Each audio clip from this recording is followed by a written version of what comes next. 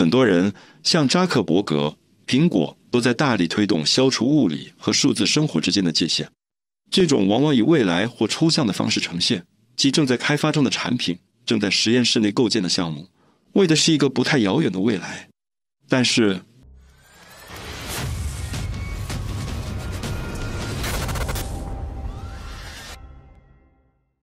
这些并不是真实的。或许，我们早已身处元宇宙之中。一个悄无声息地潜入我们生活的元宇宙，通过细如发丝的针注入我们的视网膜，我们几乎感觉不到每一针的疼痛。每天，我们都在进一步深入这个完整的模拟世界，我们的兴趣和互动变得越来越真实，存在于一个正在慢慢覆盖我们可触摸世界的世界中。你已经身处元宇宙之中，甚至能用真实的五感体验它。这听起来有点夸张，对吧？为了更好地理解这个概念。我们可以从一本经典著作开始，《模拟物与模拟》这本书是让鲍德里亚于1981年出版的，他的思想为电影《黑客帝国》系列提供了哲学基础。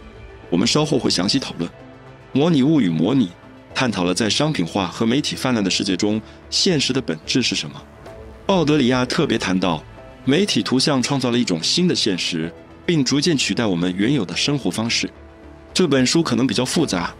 鲍德里亚用一个古老的寓言简化了他的大部分理论。如果我们稍微深入思考这个思想实验，就能开始理解我们目前的困境。相信我，这绝对是个困境。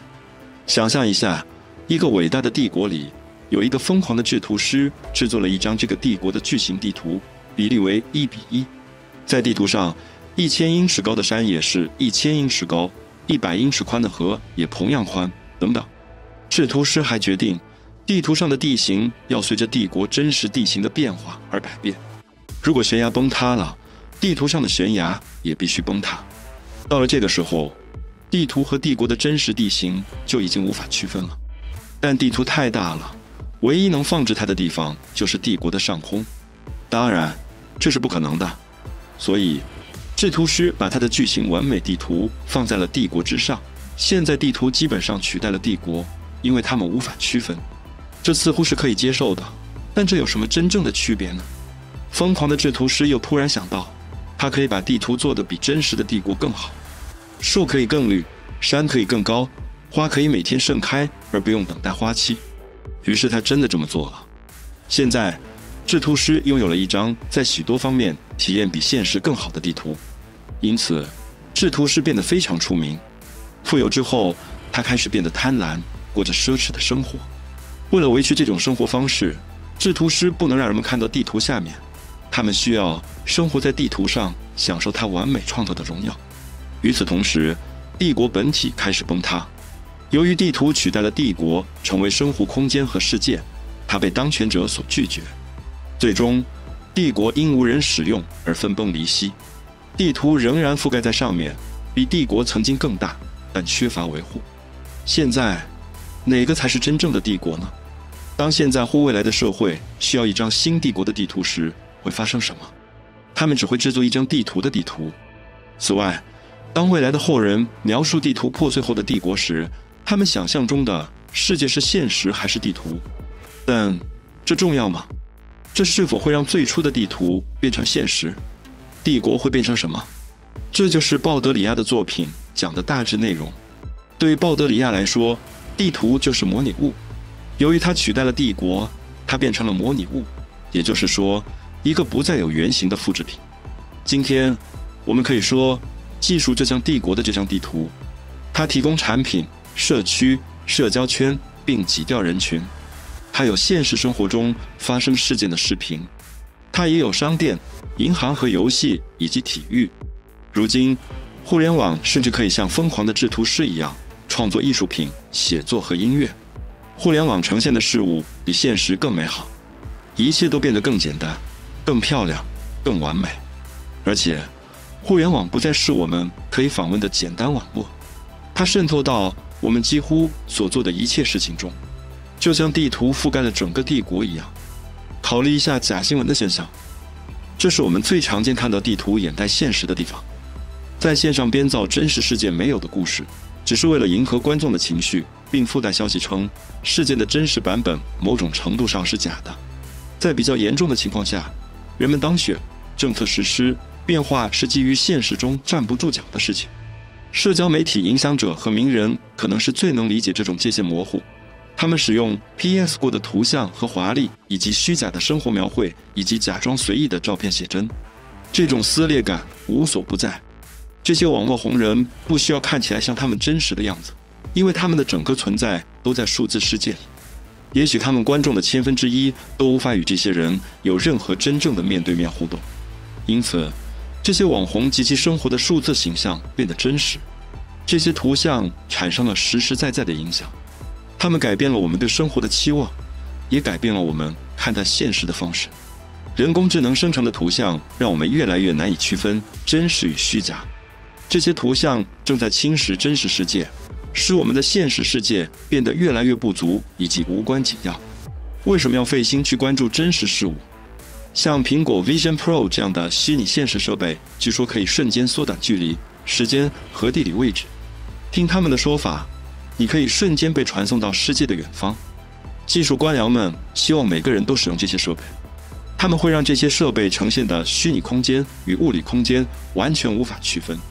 这些人会抛弃现实世界，为了虚拟现实而使地理和物理空间变得无关紧要。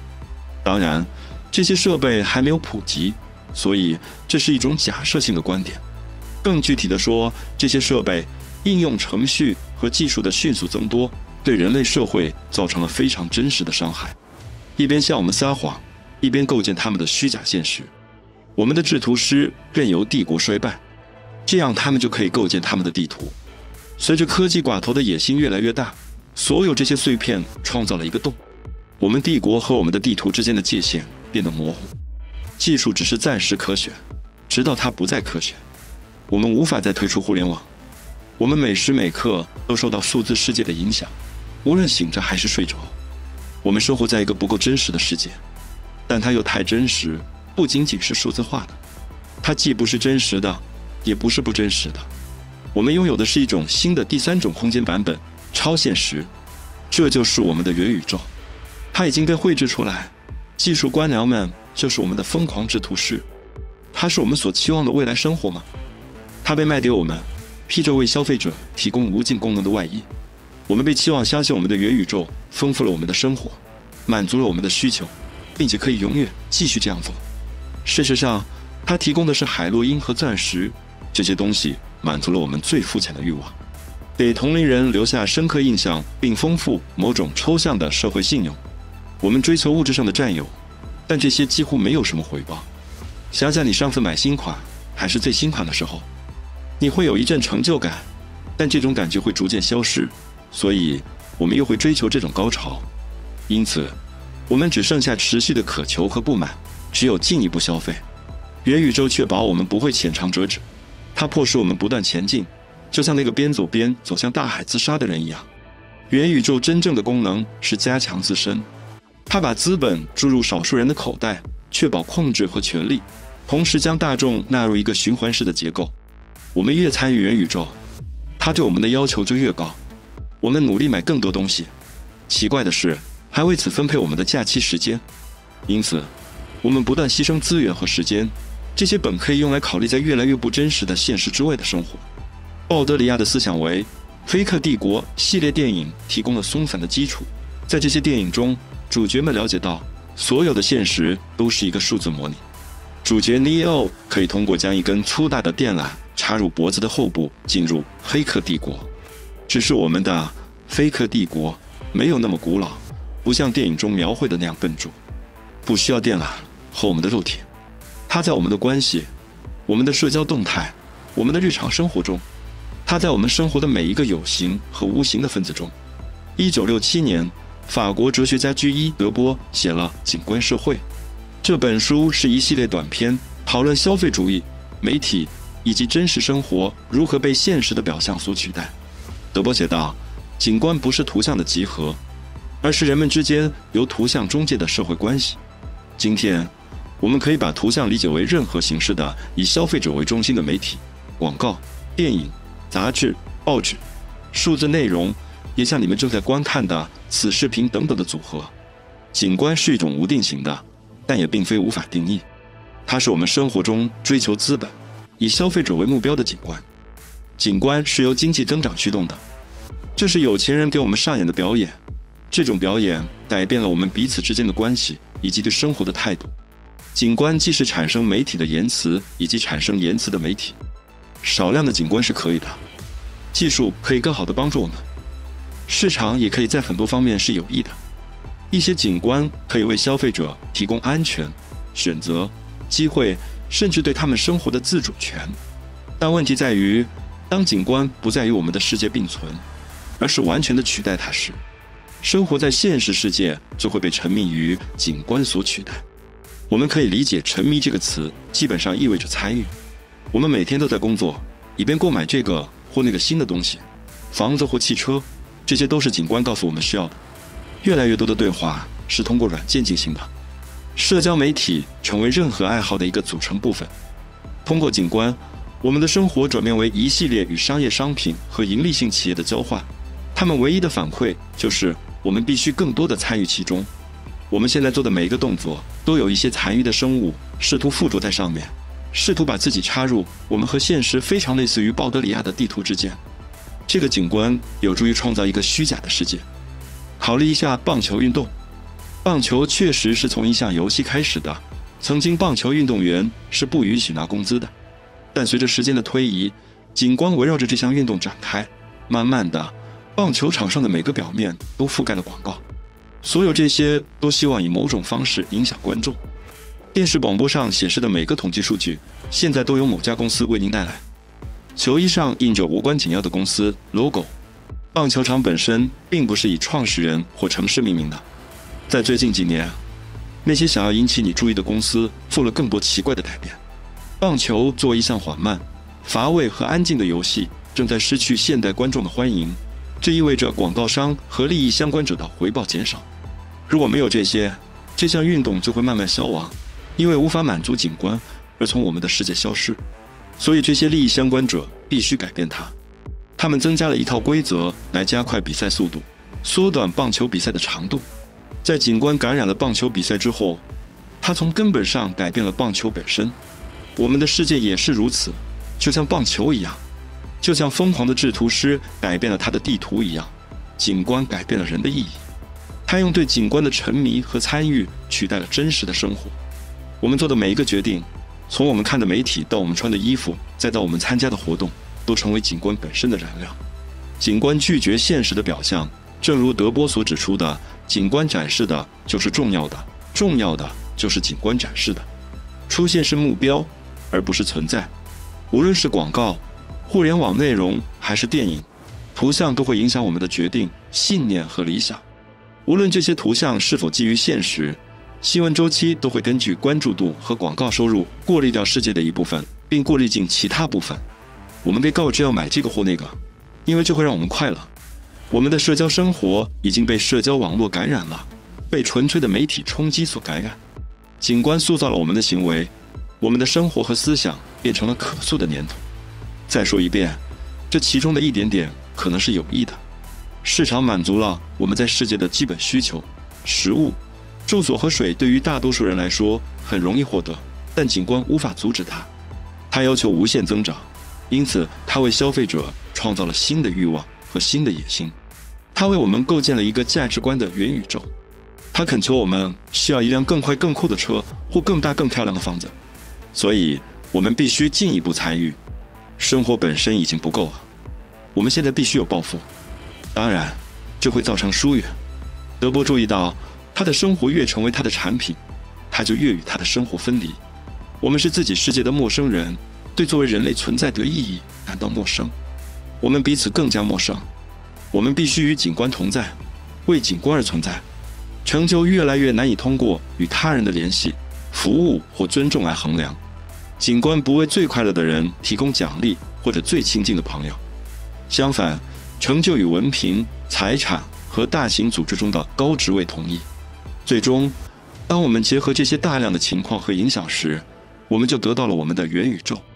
我们会发现自己生活在一种模拟之中，而不是现实中。对于现代人来说，想象生活与这个模拟物分离似乎完全没有意义。那么，我们应该如何度过我们的日子呢？难道只是盯着天空看，坐着什么也不做吗？这难以想象。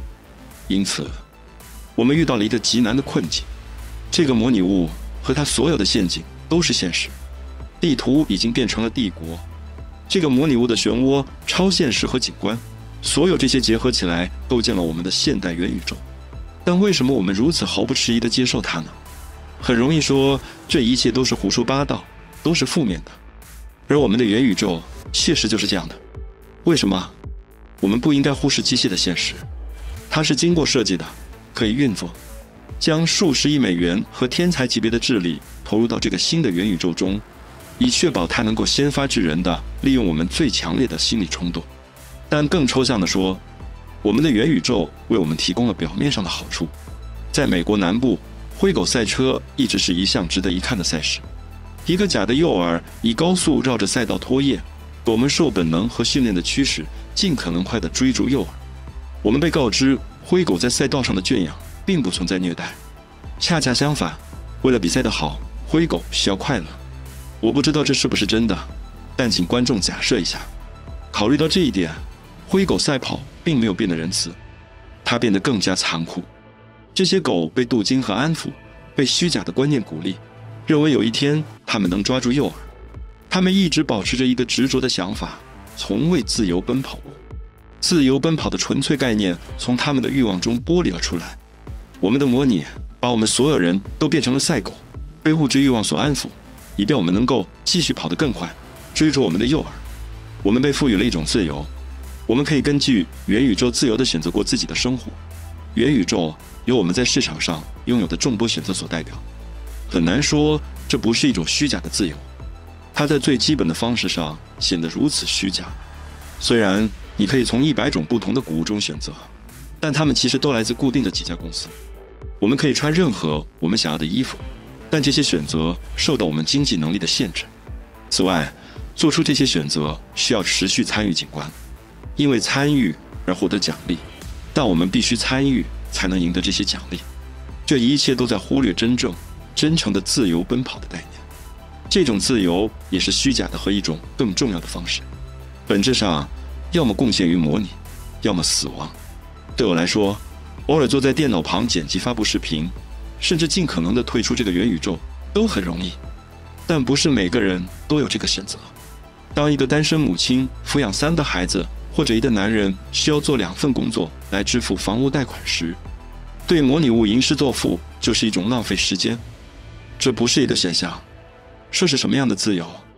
一种规定人行为的自由。最后，我们回到鲍德里亚，他指出有四个阶段将事物。从真实转变为模拟物，比如这里有一张一棵树的照片，这是第一阶段，简单的现实。我们有一个物体，照片，它代表着真实存在的物体，树。但后来我们开始干涉它，我们把这张照片带到 Photoshop 里做一些颜色校正，图像得到了增强。每个人都知道，虽然它跟原来不同，但你不能说它是虚假的。这是鲍德里亚说的第二阶。然而，我们的照片，即使经过专业处理，依然看起来不够完美。所以，我们从网上下载了一张很棒的树的照片，然后告诉人们这是自己拍的，是自己徒步旅行或散步时拍的照片。这是第三阶段，这张图像是真实的，它代表着真实的东西。但我们在以一种脱离现实的方式，不诚实的展示它。最后一个阶段，则是把我们带到了完全的模拟物。我们利用 AI 创造了一张人工智能生成的树的图像，并向朋友炫耀它。在这个阶段，我们展示的东西是假的。我们积极的掩盖现实，同时说服朋友相信这幅人工智能生成的树的图像实际上是真实的。正如鲍德里亚所指出的，我们正在开发超越现实的东西，一种模拟物，超现实。我犹豫是否要完全复制粘贴这种结构到我们的现实。我们肯定能看到媒体、技术和互联网如何通过一系列相似的阶段推动我们的现实。技术没有好坏，互联网本质上也不是有害的。数字世界对人类有很大的帮助，我们可以找到志同道合的人，甚至是浪漫的伴侣。我们可以发现文化成就和知识，我们可以在需要的时候得到帮助，几乎随时都可以得到帮助。医疗技术拯救了无数人的生命，这是一个非常重要的观点。我的愿望不是把所有的技术都烧毁，问题在于，当这个超现实的元宇宙掩盖了现实的时候，问题来了。当我们无法认清地图不是帝国的时候，当帝国崩溃转而支持地图的时候，在使用互联网的二十五年里，更广泛的趋势一直朝着一个方向发展。互联网越来越渗透到每个人的生活之中，一直在加速，而不是减速。我觉得收益递减的临界点越来越近。如果我们啊还没有达到这个临界点，这个故事既是当前的，也是前瞻性的。我们的元宇宙给我们设置的最大陷阱和最卑鄙的陷阱就是欺骗。这个元宇宙宣扬美丽和幸福都在它的代码中，在它的诅咒中。它用薄如纸的面纱掩盖了现实世界。事实上，美无处不在，它在草叶和沙砾中，它在深夜，我们与朋友的欢声笑语之中，它在爱人的拥抱中。我们应该使用技术，享受技术，但是我们不应该过度依赖。我们的世界，我们的真实世界，既美丽又亲近，